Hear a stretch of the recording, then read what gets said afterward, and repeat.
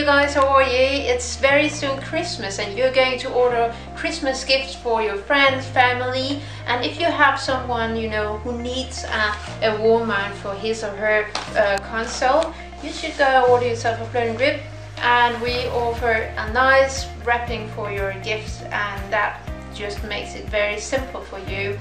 And yeah that's it. Enjoy and merry christmas.